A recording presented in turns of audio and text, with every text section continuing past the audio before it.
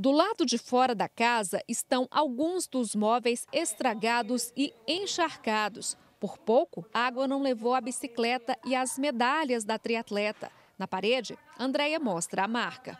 Quando eu pus o pé no chão uh, da cama, a água já estava em cima.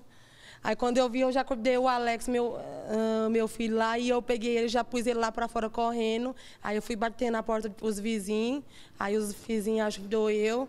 Nas imagens gravadas, dá para ver a cozinha tomada pela água.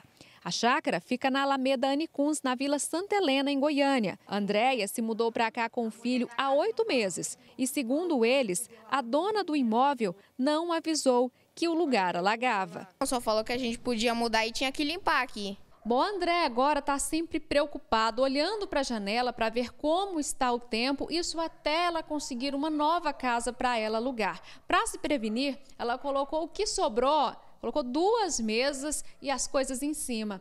A geladeira dela veio para cima desse balcão. É a única que sobrou. E daí ela não quer que a cena da madrugada de quarta para quinta-feira se repita. A gente vai vir aqui num cômodo que está bem complicado. Eu vou entrar aqui no meio da lama mesmo para vocês terem noção.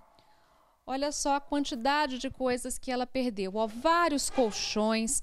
Ali atrás, ó, fogão. Ela tinha dois, não tem mais nenhum. Máquina de lavar, outra geladeira. E aqui até o botijão de gás Olha só, foi parar no meio da lama.